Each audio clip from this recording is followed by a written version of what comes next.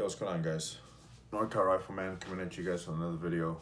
In this video, I'll be doing a uh, tabletop review of my Gen 3 Glock 19 here. But before I continue, I just want to make sure it's clear. Magazine is loaded, but there's nothing in the chamber, so this gun is safe. So, uh, you know, where do I start with this? This has been a long time coming video for me. I've been meaning to do this video for a long time now.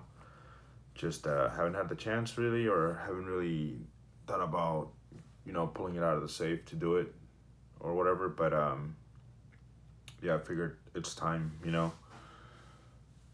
This by far is one of my favorite pistols that I own or in general um, for many reasons. You know, uh, main reason it's uh, reliable. It's a Glock. It's easy to shoot. Um, I have about I don't know, not many rounds to this. I have maybe roughly four to four fifty uh, rounds to this uh, gun. But uh, other than that, you know, I do carry it sometimes, uh, not very often. Uh, it mostly sits in my safe at home. Uh, this gun here is a gun that, you know, it's, like I said, it's easier to shoot, and if I had to hand this off in a home defense scenario to my girlfriend or whatever, I would feel confident that she would be able to use this, and, uh, and yeah, so, as you can tell, it's, uh, it's not very, for the most part, it's stock, you know, there is some, uh, additions to this gun, like the hand, not handle it, sorry, uh, the Talon grips on here. These are the rubberized grips, by the way. And I have the TLR1 Streamlight Weapon Light. And the uh, sights here, they're Glock Factory night sights that I threw on there when I, like, a month after I got the gun. I wasn't really a big fan of the plastic sights, so decided to get something a little better. Um, so why did I get this gun? You know, at the time, you know, I've always kind of wanted a nine millimeter uh, handgun. I just didn't know what to really get. And after doing an extensive search of what would be a good one to grab, um, you know, Glock 19 appeared everywhere. I did a lot of research on it, and I came to find that, you know, obviously it's one of the most commonly used firearms in law enforcement agencies, uh, military special units around the world. So uh, I mean, I guess the gun must be doing something good, right? So, yeah, I decided to pick it up, and uh, I've been having it for a, a, few years now. Have never had any issues with this gun. Uh, right out of the box, it's shot flawlessly. Um, it's a Glock, you know. Again, you know they're known to be reliable, so you really can't go wrong with this handgun here.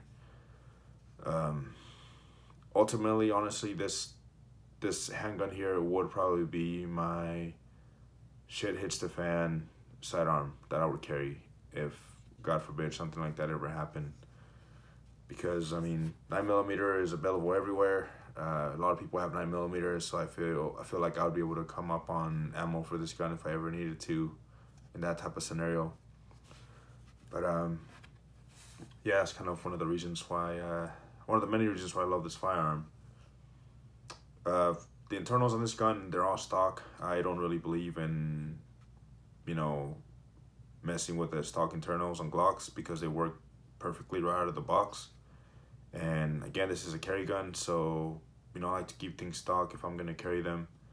For many reasons, you know, uh, they're known to work better, um, less fine tuning you got to do.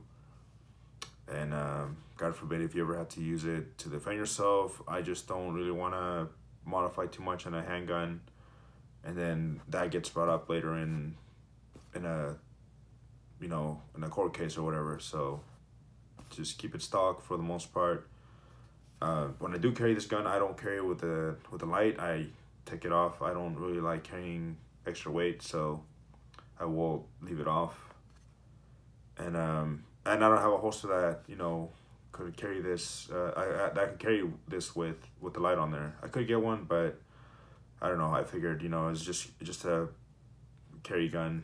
I mean, I don't really care for the light, honestly. I I won't. I don't really go out at late late night, anyways. So my, yeah, no reason for me to carry extra weight. But that's just me. Um, there's nothing, there's really no frills to this gun. Uh, it's pretty standard. Uh, it's a good gun, reliable, easy to use. Another cool thing about this gun is that, you know, I also got this with the intention that, you know, if I want to teach a member of my family or a friend how to shoot, how to, you know, operate handguns, this would be a good choice to get them started with. Uh, 9 millimeter, the recoil is a little bit more manageable, easier to use, um, quicker follow-up shots or whatever. So, you know, when you start somebody off with like a 40 caliber or something, you know, a little bit snappier than 9 millimeter, then sometimes it might scare people away from shooting and getting into firearms and stuff. So I figured this would be a good gun for that as well. So, yeah, and you know, this handgun here, it's one of my, you know, primary home defense guns as well. Uh, obviously, that's why I have the light on here. So, you know, God forbid I ever have to use it for that reason. But, um, yeah, you know, it's uh, it's there if I needed it to, or if I need to hand this off to my girlfriend, and then you know me grab something else or whatever, I would feel confident she'd be able to uh, use this to defend herself, or you know the family or whatever. So yeah, um, I have been looking at some things to do with this recently. I thought about getting an aftermarket slide with an RMR cut. Um, I, I didn't really care for that initially, but now, you know, they kind of grown on me. But I would get, you know, that would be more for like, like a range toy kind of thing, you know, not really to carry. Unless, you know, the slide that I go with, it's uh, pretty reliable and stuff, you know, maybe like a Zev or something but um, yeah, I would definitely keep the, the stock uh, components on this one and just get an aftermarket one for, I don't know, range toy purposes or, or whatever. So, um, yeah, other than that, you know, I, I, I, like, like I said, I don't believe in messing with the internals or things like that. So, yeah, I mean, I think this gun is just great the way it is. You know, it's designed well, so. I have pretty decent sized hands, but I mean, even still with a large hand, you still get a pretty good purchase of the firearm, you know? So, uh, it's big enough to fight with and small enough to conceal. So, I really like this size of handguns for a lot of reasons. And those are the main ones, you know? Um, they're big enough to fight with if you need to, and small enough to conceal if you need to or you know if you're gonna carry it or whatever obviously. But um yeah this is a great gun. I've been meaning to do a review tabletop review on this guy for a long time and just haven't done it.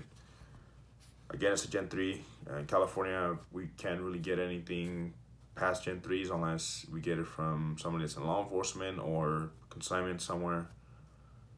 Um, but honestly, even if I could get like a Gen 4 Gen 5, I probably wouldn't do it. Um, Gen 3s are known for having a good track record. So I think Gen 3s is where it's at for me. But uh, anyways, guys, uh, thanks for watching. You know, if you find this video, you know, helpful or whatever, if you're looking to get a Glock 19,